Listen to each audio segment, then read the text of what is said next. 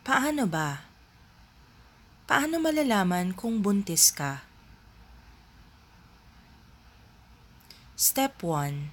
I-check kung na mismo ang period mo.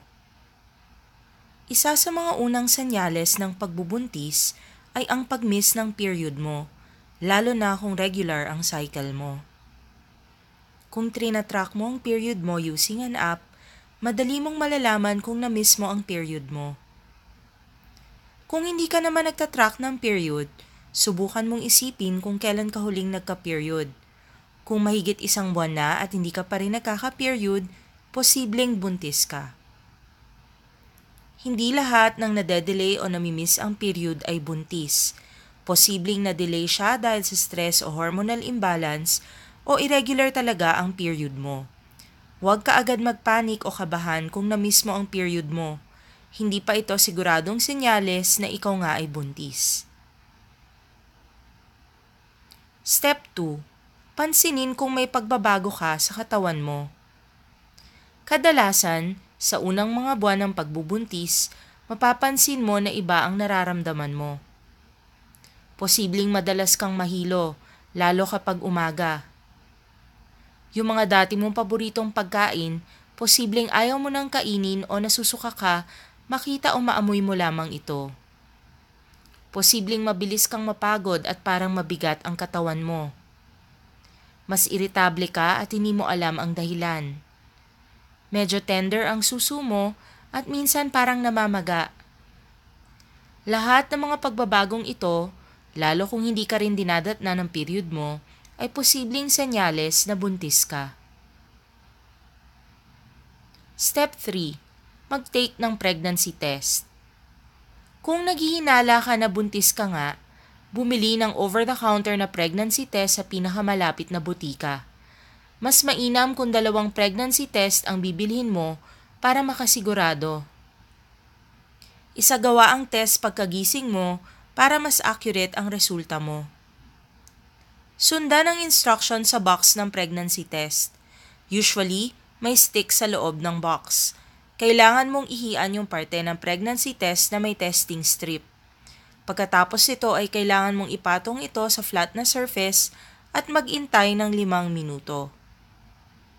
Depende sa test sa binili mo kung ano ang lalabas kapag positive ang resulta. Ang ibang pregnancy test ay dalawang pink na linya habang ang iba naman ay isang asul na linya. Basahin ang box ng pregnancy test para malaman ito.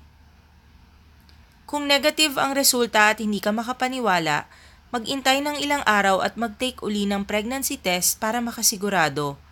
Mas mainam kung makamiss ka muna ng period bago ka mag-pregnancy test. Step 4. Kumonsulta sa doktor. Kung positibo ang resulta ng pregnancy test mo, o negative o inconclusive, isang negative, isang positive, bumisita na sa isang gynecologist. Posibleng ipag-take ka na naman ng doktor ng pregnancy test o di kaya ay kukunan ka na niya ng dugo para malaman kung buntis ka nga.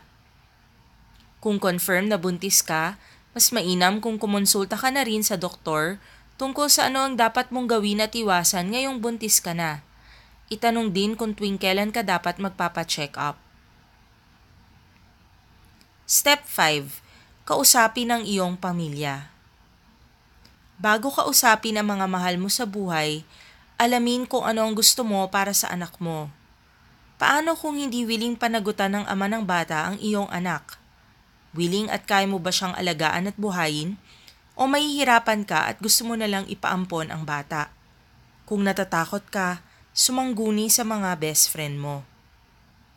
Kung hindi pa alam ng tatay ng batang dinadala mo, sabihin mo sa kanya na buntis ka preferably harap-harapan. Tanungin mo kung ano ang balak niya. Magpapakasal ba kayo o hindi?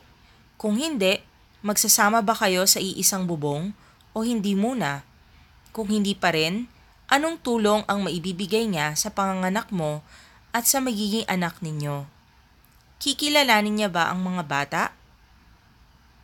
Sabihin sa magulang mo.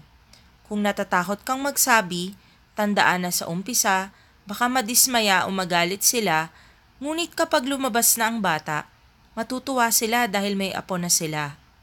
Kailangan mo lang magpakatatag. Dalhin ang ama ng bata kung maaari. Kung hindi siya willing sumama, magdala ng kaibigan kung di mo kayang magsabi ng mag-isa.